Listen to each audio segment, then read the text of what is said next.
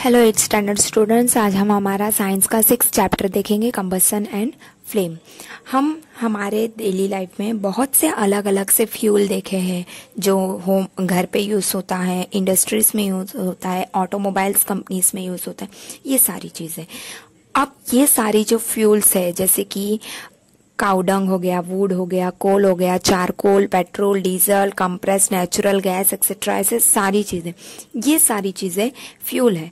पर लेकिन जब हम इसे बर्न करते हैं जलाते हैं तो इसकी सारे की प्रॉपर्टीज़ क्या होती है? अलग अलग आती है। मटेरियल जो भी बर्न हो रहा है कुछ मटेरियल जो होता है फ्लेम आती है जलाने पे कुछ बिना फ्लेम के जलते हैं। कुछ से ज़्यादा धुआँ निकलता है ये सारी चीज़ें अलग अलग सो so, हम इस चैप्टर में यही देखेंगे। तो फ़र्स्ट हम देखेंगे कंबशन क्या होता है।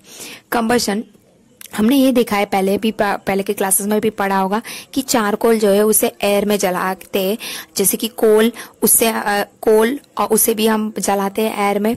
तो प्र, उससे क्या प्रोड्यूस होता है? कार्बन डाइऑक्साइड प्रोड्यूस होता है हीट और लाइट प्रोड्यूस होता है। और जो प्रोसेस जिसमें जो सब्सटेंस रिएक्ट होता है ऑक्सीजन के साथ और हमें हमें हीट देता है, उसे क्या कहते हैं हम? कंबर्शन कहते हैं। और जो सब्सटेंस कंबर्शन प्रोसेस कर रहा है, उस सब्सटेंस को हम कंबस्टिबल सब्सटेंस बोलते हैं और इसे फ्यूल भी बोल सकते हैं हम। और जो ये फ्यूल है, वो सॉलिड भी हो सकता है लिक्विड भी हो सकता है और गैस भी हो सकता है। कभी कभी लाइट भी रिलीज़ होता है हीट के साथ कंबर्शन में।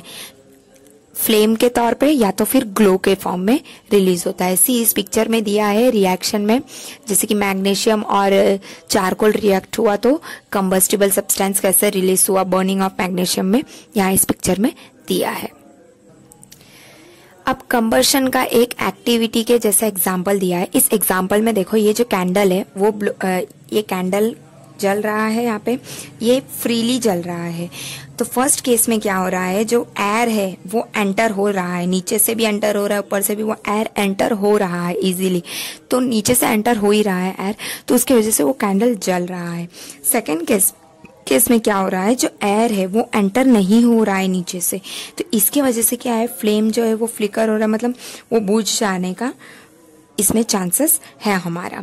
फिर नेक्स्ट थर्ड केस में क्या हो रहा है? जो फ्लेम है, वो पूरा बंद हो जा रहा है, बुझ जा रहा है, क्योंकि वहाँ पे एयर नहीं जा पा रहा है। तो इससे हम इजीली समझ सकते हैं कि ऑक्सीजन अगर रहेगा तो ही कंबस्टिबल कंबर्शन हो सकता है। कंबर्शन जो है, वो प्रोसेस में सब्सटेंस ऑक्सीजन से रिएक्ट होता है। ये हम इस एग्ज़ाम्पल से इजीली समझ सकते हैं। नेक्स्ट हम देखेंगे कि जो लोअस्ट टेम्परेचर जिसमें जो सब्सटेंस फायर उसमें आग लग जाती है कैचेस फायर उस उस टेम्परेचर को हम इग्निशन टेम्परेचर कहते हैं। अब जैसे कि अब why a match does not catch fire on its own room temperature अब अगर मैच स्टिक्स मैच स्टिक को हम रूम टेम्परेचर में ऐसे ही रख रहे हैं ऐसे ही रूम में रखा है तो वो क्यों नहीं बर्न होता है? लेकिन हम जैसे ही उसे रब करते हैं, उस मैच बॉक्स पे तो वो तुरंत वो बर्न हो जाता है। तो ये क्यों? तो वो इग्निशन टेम्परेचर के वजह से। जब तक हम उस सब्सटेंस को उतने लोवेस्ट टेम्परेचर में रखेंगे तब तक वो उसका इग्निशन टेम्परेचर है। तब जब उतना टेम्प अगर तब तक उसमें आग नहीं लगेगी जैसे ही वो टेम्परेचर उसका लोअर हो जाएगा तब जाकर उसमें वो फायर लग जाएगा। अब हमने देखा हो तुम आ, देखा होगा वीडियोस में मूवीज़ में देखा होगा कि हम कुछ फ्राई कर रहे होते हैं। फ़ूड फ्राइंग होता है, उसमें भी कुकिंग ऑयल में भी आग लग जाती है। मतलब स्टोव पे वो ऑन में रहता है तो वो आग लग जाती है। तो वो कैसे? वो सारी चीज़ें इसी इसी इग्निशन टेम्परेचर के वजह से होती है। कैरोसिन ऑयल और वुड जो है वो हमेशा रूम टेम्परेचर में रखने से फायर नहीं लगती है उसमें। लेकिन अगर हम कैरोसिन ऑयल को हीट करेंगे थोड़ा तो वो तुरंत क्या हो जाएगा उसमें? फायर लग जाएगा। और अगर वुड को भी हीट करेंगे थोड़ा तो it would still not catch fire wood को हीट करेंगे तो, तो उसमें नहीं उतना जल्दी आग नहीं लगता। इसका मतलब क्या है? इग्निशन टेम्परेचर जो है कैरोसिन का वो वुड से लो है। तो इसका ये इसका ये मतलब है कि हमें इस कैरोसिन ऑयल को स्टोर करने के लिए हमें थोड़ा केयर करना पड़ेगा, उसे वैसे टेम्परेचर में रखना पड़ेगा। तो ये सारी चीज़ें इग्निशन टेम्परेचर ये हम, हमें क्यों यूजफुल है, जिससे हमें पता चलता है कि कौन से सब्सटेंस को बर्न होने में कितना टेम्परेचर रहता है। तो इससे हम सेफ्टी भी उसे रख सकते हैं। अब कुछ सब्सटेंस ऐसे होते हैं कि जिसका लो बहुत ही लो होता है इग्निशन टेम्परेचर और इजीली उसमें आग लग सकती है। और वो भी आग भी फ्लेम के साथ। तो उस सब्सटेंस को इनफ्लेमेबल सब्सटेंस कहा जाता है, जैसे कि petrol alcohol liquefied petrol LPG जो हम घर में सिलेंडर्स यूज़ करते हैं, वो। ये सारी चीज़ें इनफ्लेमेबल सब्सटेंस होती है। इसमें इजीली आग लग सकता है। देखा होगा कि पेट्रोल थोड़ा सा रहेगा उसमें अगर थोड़ा सा एक माचिस की तिल्ली भी लग जाएगी तो उसमें इजीली फायर हो जाता है। सो so, अब हमने देखा कि आग कैसे लगती है। अब हम देखेंगे कि इसे कंट्रोल कैसे किया जा सकता है।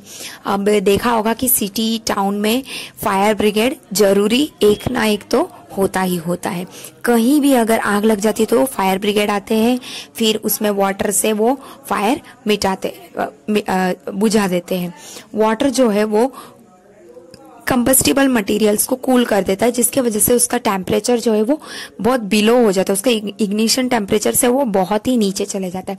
तो इसके वजह से क्या हो जाता है, वो आग और ज़्यादा बढ़ने से बच जाता है।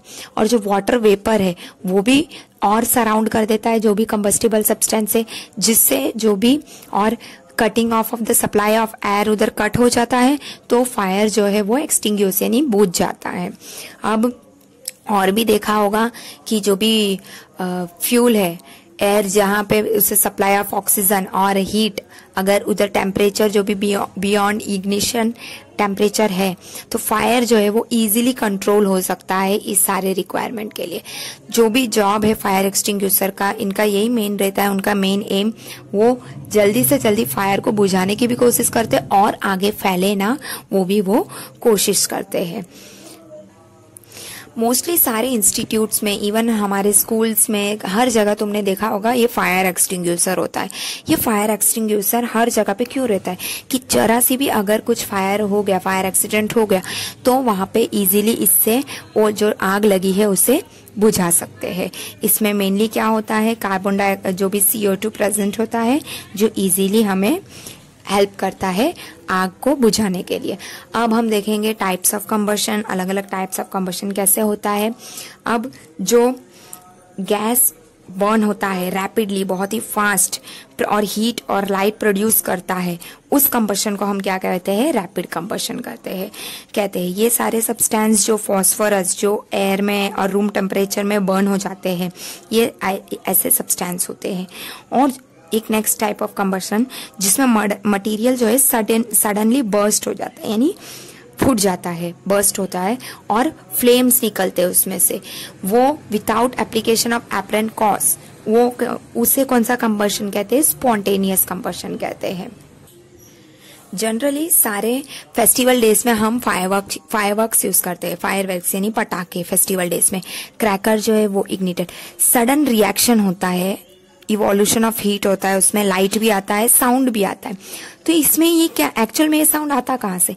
इसमें बहुत सारे अमाउंट ऑफ़ गैस होते हैं और इसके वो अलग अलग गैसेस के वजह से रिएक्शन के वजह से ये होता है। और उस रिएक्शन को क्या कहते हैं? एक्सप्लोजन कहते हैं।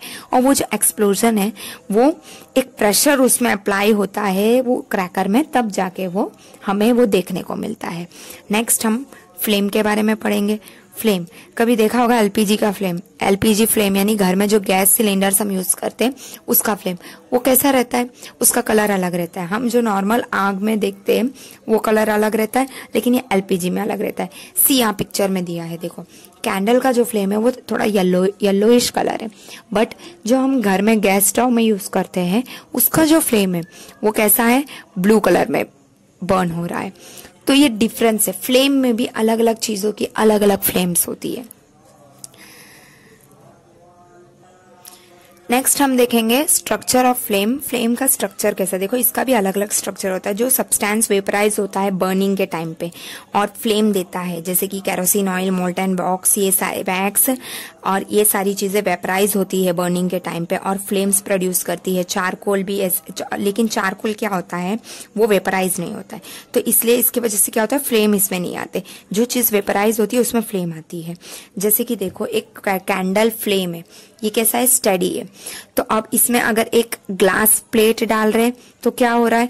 उसके ऊपर हम ग्लास प्लेट रखेंगे तो उस, उसके फ्लेम में कुछ ना कुछ डिफरेंस हमें दिखेगा। तो टेन सेकेंड के बाद हम अगर देखेंगे तो कुछ अलग दिखेगा। उसके बाद फिर वो वापस सर्कुलर ब्लैकिस रिंग दिखेगा हमें, उसमें। जो वो ग्लास प्लेट के वजह से आया होगा। फिर वो जो रिंग फॉर्म हुआ है, वो इंडिकेट करेगा कि जो भी अनबर्न जो जला नहीं है कार्बन पार्टिकल्स वो उसके रूम ये जो जोन है, उसमें प्रेजेंट रहेगा वो फ्लेम्स में।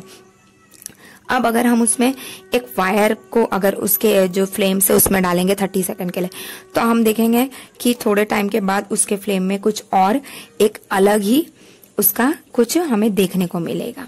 फ्लेम में एक छोटा सा हल्का सा रेड कलर पार्ट हमें देखने को मिलेगा।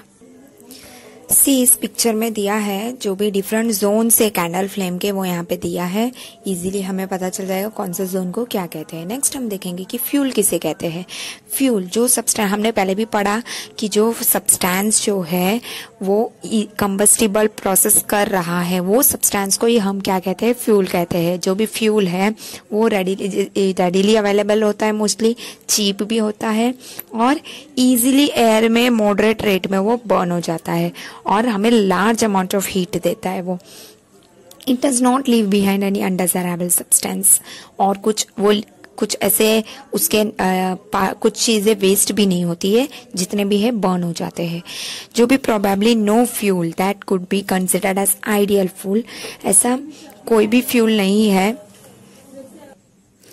फ्यूल्स जो है, वो अलग अलग टाइप्स के होते हैं, उसके अलग अलग रिक्वायरमेंट्स होते हैं पर्टिकुलर हमारे अलग अलग यूज़ होते हैं, और अलग अलग फ्यूल्स के अगर अलग अलग कॉस्ट भी होते हैं। कुछ फ्यूल्स जो है, वो किसी के कंपैरिजन में चीप भी होते हैं। अब नेक्स्ट हम देखेंगे फ्यूल एफिशिएंसी क्या होता है। फ्यूल एफिशिएंसी जो है, जो amount of heat energy produce हो रहा है, एक कंप्लीट कंजक्शन में सॉरी कंबर्शन में वन केजी फ्यूल जो रहेगा, वो क्लोरिक वैल्यू हो कैलरी कैलरीफिक वैल्यू हो जाएगा उसका। और जो जो कैलरीफिक वैल्यू है, वो यूनिट में एक उसका पर्टिकुलर यूनिट होता है जिसमें उसे एक्सप्रेस किया जाता है। उस यूनिट को हम क्या कहते हैं? किलो जूल पर केजी के इसे हम शॉर्ट फॉर्म में केजी पर केजी भी के जे पर केजी भी लिखते हैं। और ये जो कैलोरिफिक वैल्यू है, कुछ फ्यूल्स के यहाँ पे देखो टेबल में दिए है, किसका कितना वैल्यू है। नेक्स्ट जो है, हम देखेंगे कि burning of fuels lead to harmful product अब क्या हार्म होता है हमें? अब हम देखेंगे कि कार्बन फ्यूल को जैसे कार्बन फ्यूल्स जैसे कि वुड कोल पेट्रोलियम ये सारी चीज़ें जो अनबर्ट का अनबर्न कार्बन पार्टिकल्स रिलीज़ करती है, ये जो फाइन पार्टिकल्स है, ये पोल्यूटन करते हैं रेस्पिरेटरी डिजीजेस आ सकते हैं आस्थमा जैसे डिजीजेस भी आ सकते हैं, ये सारी चीज़ें ये बर्न होने में रिलीज़ करती है। अब अगर नेक्स्ट हम नेक्स्ट पॉइंट ये है कि इनकम्प्लीट कन्वर्शन होगा अगर कुछ फ्यूल का तो कार्बन मोनोक्साइड गैस वो रिलीज़ करता है, जो बहुत ही पॉइसनस गैस है। और ये इतना डेंजरस बहुत, इतना डेंजरस है कि burn coal in a close room it is danger और क्लोज अगर किसी बंद कमरे में ये चीज़ों को अगर जलाएँगे तो इसका बहुत ही डेंजरस इफ़ेक्ट होगा।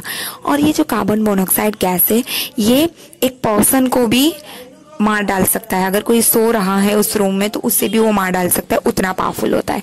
अब नेक्स्ट पॉइंट ये है कि combustion of most fuel release carbon di mostly सारे कार्बन डाइऑक्साइड रिलीज़ करते हैं, जो एनवायरमेंट के लिए बहुत ही नुकसान तो इसके वजह से क्या होता है? कार्बन डाइऑक्साइड का इंक्रीज हो जाता है कंसेंट्रेशन एयर में, और जिसके वजह से क्या हो जाता है? ग्लोबल वार्मिंग इंक्रीज हो जाता है।